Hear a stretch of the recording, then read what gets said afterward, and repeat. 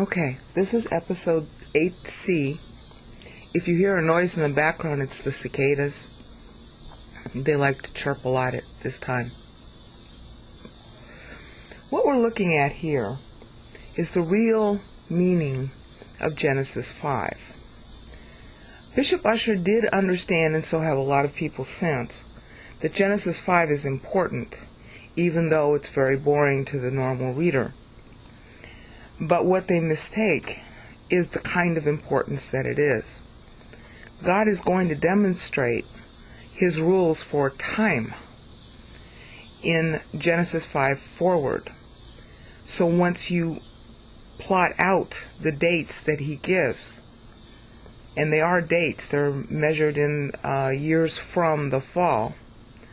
When you see those dates and you plot them, you see God's rules for time.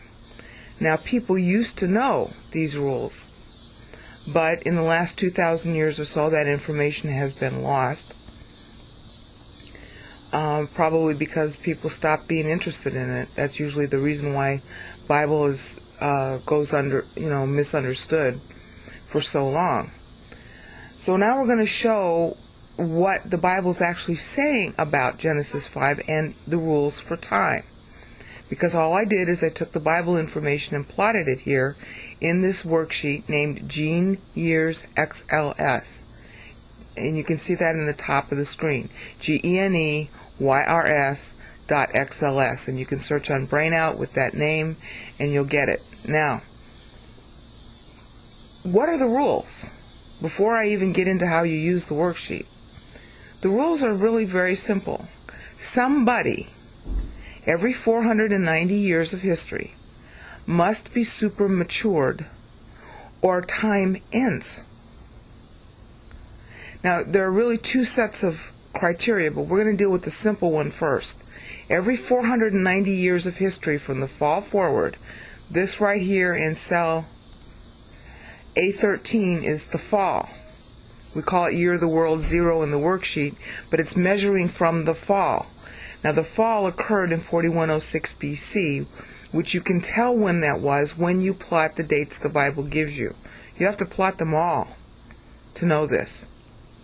And that's what I did. This worksheet goes all the way through 2007 AD. But just get the idea of it for now. Year zero is the year of the fall, and that is 4106 BC. That's in cell uh, E14. Hope you can see the cursor very well. So the year of the world is zero at that point. Now, between that point and right here, 490, which is in cell G19, you should be able to see it on your screen in full screen. Between 0 and 490, there must be somebody alive who supermatures such that God will grant, due to that person's supermaturity, in that person's name, God will grant the entire world another 490 years to live. If there is no such person, time ends. Now, after, let's assume somebody gets granted, and I'll tell you who it was in a minute. Once that grant occurs, then there is an additional 70 year voting window for those who have believed in God as He was then revealed to vote for maturing. They're not mature as the person who got the award, but they're voting to mature further, and there must be sufficient votes for that also, or time ends. That's basic reason for the flood. But I'll get into that when we get into the flood. All right, the 70 years is where the sabbatical years come from in the Jewish calendar, but we're not yet at the time of the Jews, so I'll cover that when I get there. Just get the idea. First, somebody has to mature enough in, four, in a 490 year period for God to grant them for, to grant a 490 year extension of time for the whole world to live. Secondly, if that extension has been granted some individual, and it can be granted to more than one, but it doesn't extend the time, it only makes it better. you know, the time is of, you know, nicer. But if at least one, then time extends. If then there are enough other people who are voting to know God during the 70 years following a 490 year period in the middle, then and only then will the next 490 years play. All right? That's the criterion. And, and now we're going to go through, well, first I'm going to go through how to use the worksheet. But this worksheet will show you the actual Bible people the Bible tells you about and these criteria and how they work. But you can't know them. You can't know this doctrine unless you plot the dates the Bible gives you. And that's why we don't know. Because nobody's bothered to do that. I wouldn't have bothered either, but God kicked me. I'm not going to tell you why he kicked me or how he kicked me now. Let's let's keep to the topic. Okay. Next up, let's go through how you use the worksheet to make it easier to navigate. If you put your mouse on cell A2, you will get a note. Well, you would get a note.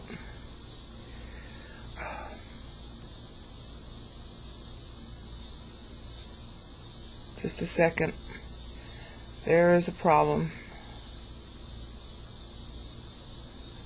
Um,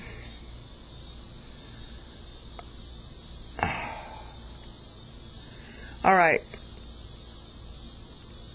I'm sorry, that was a glitch with the machine.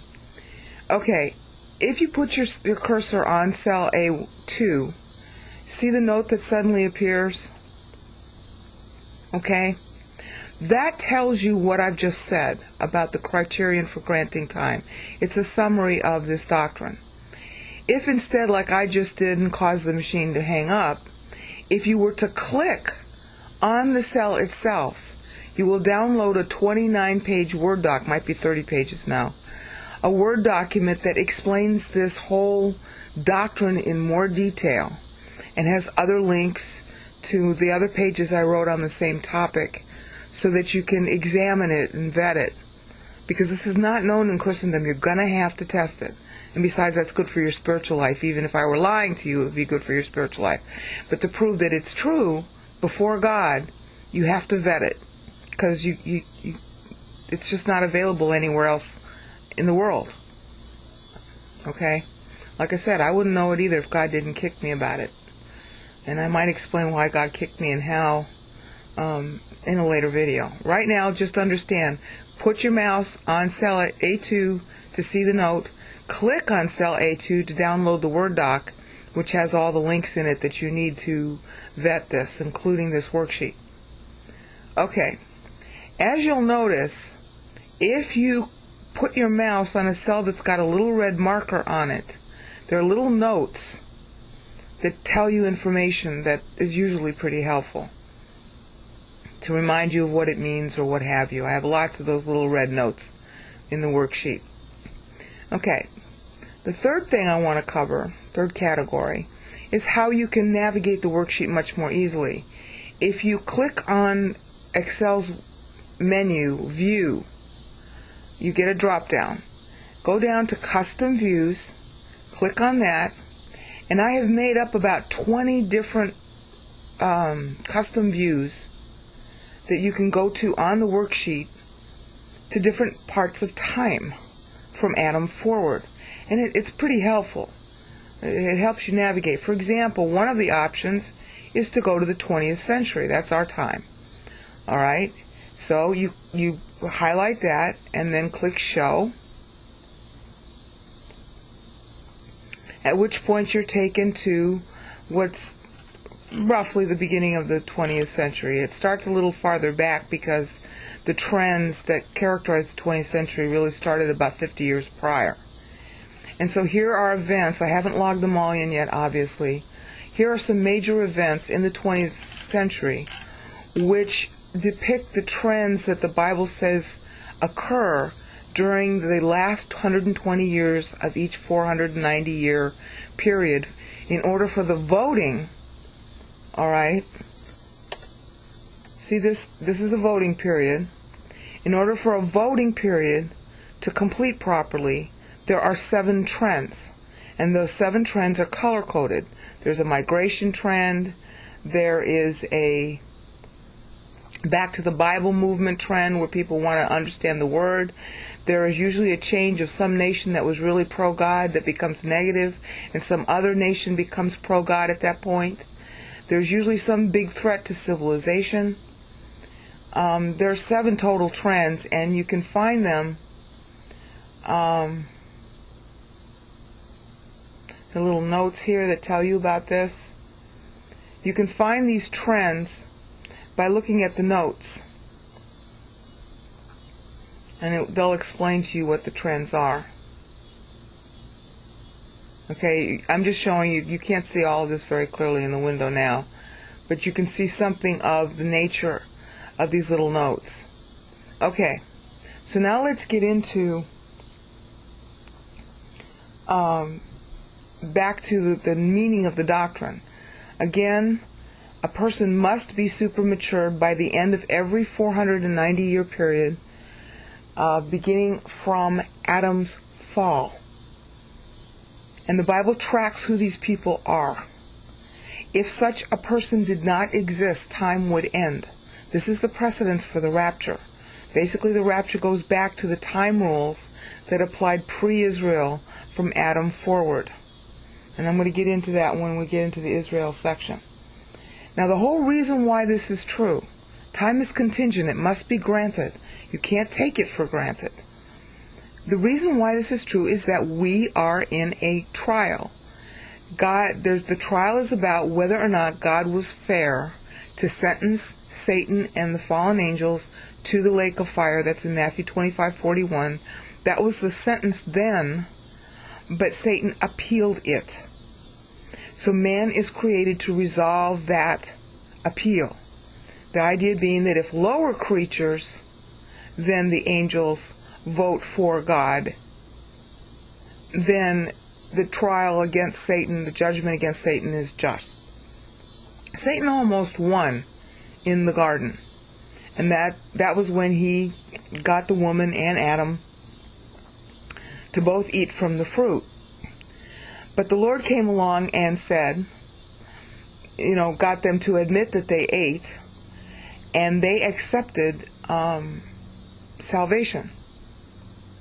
Now that is in Genesis 3 uh, 15 through 22, which we just saw in the earlier episode of uh, 8a and 8b and 7, latter part of 7. So, as a result of that, what would have been a victory for Satan is now a defeat because there are now going to be other human beings who are voting. And it isn't really a mass vote, it's a quality of voting. That's why one of the criterion criteria is that somebody must super mature by the end of a 490 year unit of time in order for the next 490 year unit to play. Now, there is a second criterion about time grants that also must be met, which has to do with a thousand years. If you look down in row 26, here you'll notice that the thousand years are marked in green versus the um, 490 year benchmarks, which are marked in gold. So, therefore, there must be two kinds of maturing um, believers. And the same person can get both grants. There must be at least one who gets a 490 year grant. Otherwise, there won't be a Civilization 1000. But there also must be someone who gets a 1,000 year grant, and it can be the same person. And as you're going to see, um, oftentimes it was. The same person who got a 490 year grant also was so mature he was mature enough for a 1,000 year grant. And therefore, time was allowed to continue. Now, the reason why this is true is because this is about votes for God. It is not like our modern democracy concept of majority rules. It is a per person vote, and the quality that results from that vote is used in the trial. That's why, as you're going to see later, Noah was just one guy out of the whole world. I mean, him and the other seven people in his family, but it was really Noah Noah voted so strongly for God, was so super mature, that his family was saved, the other seven people, and the rest of the world was drowned. They all voted negative. So it's not majority rules, it's quality rules. Christ is only one person paid for all the sins of the world. It's the quality of your thinking that governs, not how many.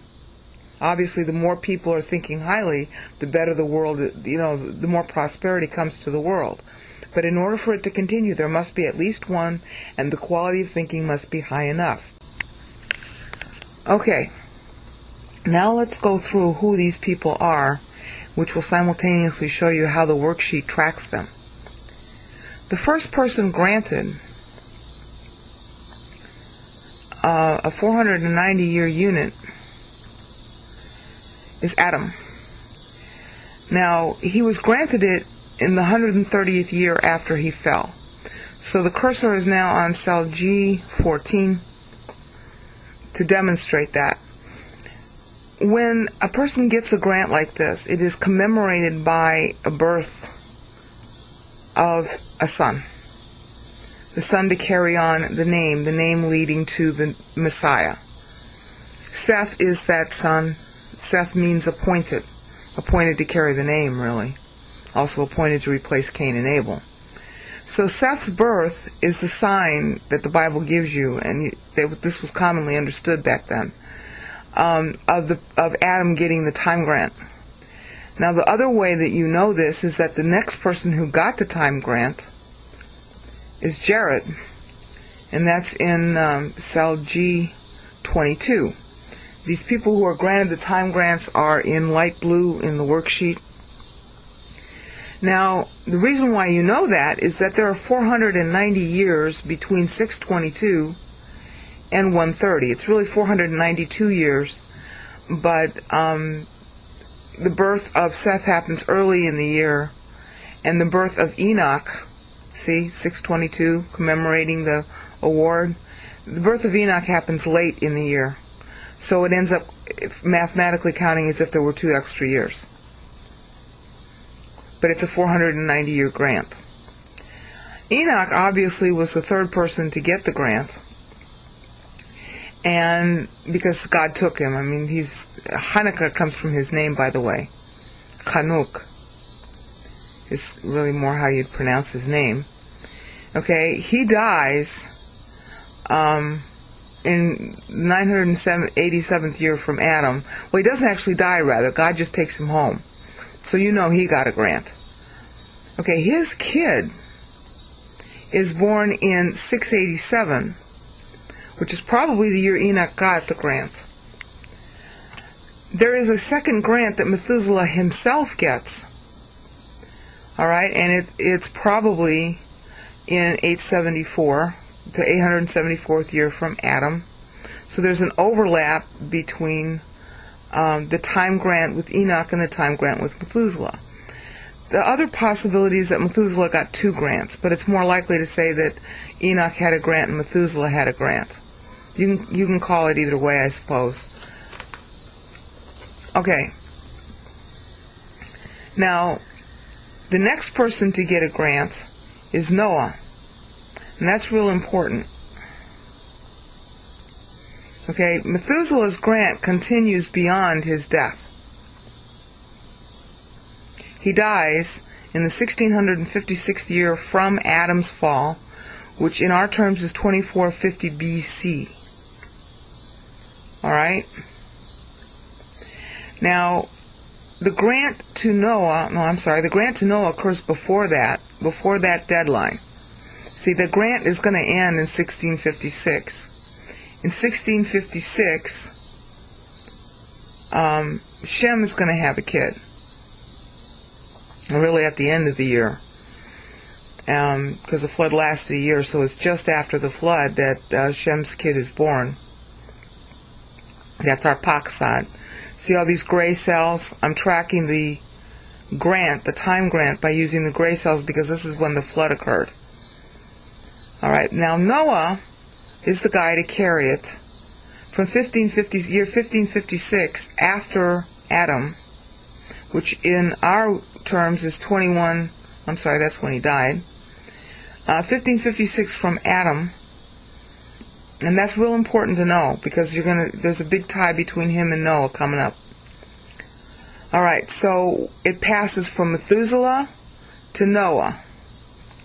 And in 1556, commemorated by Shem's birth in 1556, when Noah was almost 501 years old, that is the covenant. We know Noah more boldly because Noah got a covenant. He also got a son in the same year. I, I think he had triplets, going by the Bible's wording.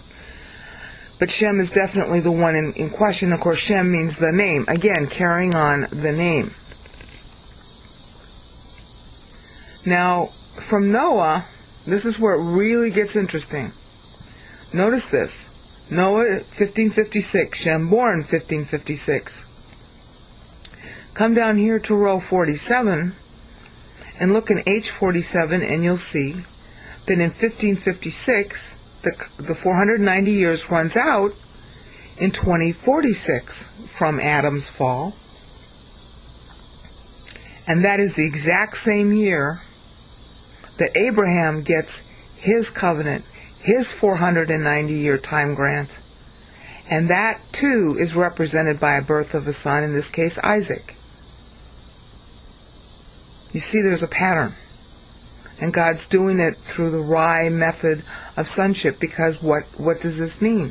Sons. Christ is the Son. So God's using sons. Time grants so that there will be sons. Time grants so that the sons of the earth can go on living. See the word play?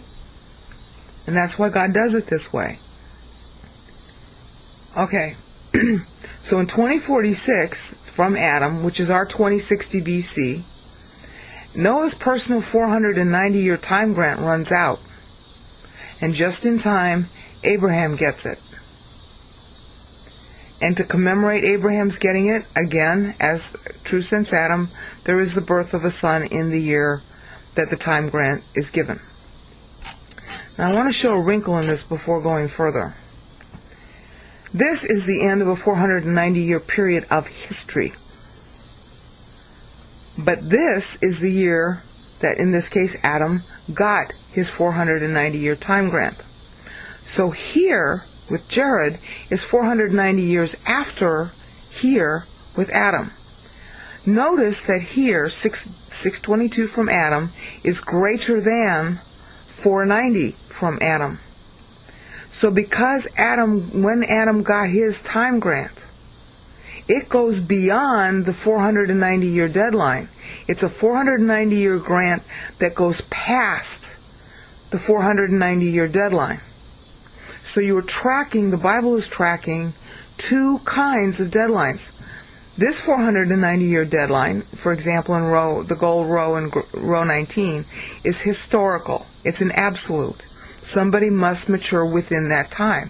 However, if someone does, the actual measurement of protection or time that the world gets to go on can be greater than the 490 year deadline in this case. Adam got his in the year 130 after his fall. It lasted until 622, really, because of the early year and late year birth of the sons. And Jared got his at that point. Okay? because you have to give or take six months because um, you know it's happening in the same year, so therefore it qualifies. Now, Jared gets his in 622, so now you'd want to add 490 years to that, which would take us what roughly to um, uh, uh, 1022, 1012. So that's putting us in the voting window. So the world hadn't had time through um, 10,012 to for somebody to mature after Jared. And of course, we had Enoch doing that, and we had Methuselah doing that. So it was a shoe in for 2012 to occur. All right, but notice people went real negative in this voting window. Real negative because in 1656 there's the flood. So if they're negative in the voting window, but you have a time grant that's extending, like in this case, farther than the voting window, well, into it really, but we have Methuselah that's going all the way to 1656. Time is allowed to continue until the time grant ends. And if the voting doesn't improve by then, then God pronounces. Now, if you look in Genesis 6, you'll see him do that. He says, okay, guys, you got another 120 years left to go. All right, that's that's the combination of the 70-year voting window and another voting window for 50 years for the world, which I haven't yet discussed. That's where the 120 comes from. That's where the sabbatical years and jubilee comes from in the Jewish law. They are continuations of prior rules of time. That's why those rules are there in the Jewish law. Okay. So 120 years prior to 1656 was 1536 from Adam. 1536 from Adam. Okay, that's right here. Now, Noah was still alive, and Noah was voting positive. So during the 120 years, from 1536 to 1656, see, from here to here, there's another voting period that occurs of 70 years between 1540 from Adam and 1610 from Adam. And during that voting period, marked with light blue lines, okay, look striped blue, and hopefully you can see it well in your worksheet. Noah super matured in 1556, right in the middle. And that's why there was enough of a vote so that 1656 could still happen, but the human race was not destroyed. And again, that's commemorated with the birth of Shem occurring during the voting window, and obviously between 1556 and 1610, when the voting win- window ends, Shem had supermatured, and uh, so Shem hadn't supermatured necessarily, but Shem had voted for God, and so did the wife and the other husbands and wives, so that eight people got into the ark at the flood in 1656 from Adam. Okay? And again, that was about our 2450 BC, which you can slightly confirm if you look at ex- even with, from extra biblical sources, because like the Epic of Gilgamesh and stuff like that is around that time period. You know, you have to always um, take the uh, dating that archaeology gives you with huge pounds of salt because they don't take into account that C14 is leached away by water. So they'll think it's earlier or later than it is, depending on how much, how waterlogged the item that they're dating is. Okay. So that brings us again to the, the concept that, okay, we've gone beyond the deadline because Methuselah's ended in 1656, right here, but Noah super matured here in 1556 from the fall. And because he did, then we got a further time extension. The flood could occur but not destroy the human race. That's the story God's telling you with all these numbers. But we're so bored with the numbers we don't we don't plot them to find out what he tells you. So that's why we don't know this. It's the only reason why we don't know. Because all this information is actually in the Bible. That's where I got it from. I didn't get this from another source. Okay. Now, tracking 4.0. Before I get, get past Shem and, and to Abraham again, I want to explain something about the 1000. Civilization 1000, a thousand year time grant had to be given somebody in order for time to continue after a thousand years. Um, I'm not 100% sure at what year, but I am sure that Enoch got the thousand year time grant. Enoch got it. He had to. Now, it might have been somebody else besides Enoch, but Enoch was considered the, one of the highest person, well, the highest person in the Old Testament, because he didn't even die. So he had to have gotten that thousand year grant. So Enoch's thousand year grant, beginning, you know, at whatever point it was, certainly went beyond the year 1050. Now, between 1000 and 1050 is another voting window. In this particular voting window, people were so negative that the flood is going to end up happening about a hundred years, well, yeah, a hundred years after Noah gets his covenant. So this was the voting window for the world. That's signified in Jewish terms by Jubilee. Jubilee always signifies the end of time. Always. Jubilee is what happens when Messiah returns to earth. It's in Isaiah 61. And Christ cited it when he uh, announced his ministry. So if you want to, just read ahead into um, Isaiah 61 to understand what Jubilee means. And we're going to get into it more later, but I just, the preview of coming attractions, okay? The voting window for the world. If not enough people are believing in Christ as he was then revealed, then the world ends, at least for those who are voting against God. And that's why you had the flood.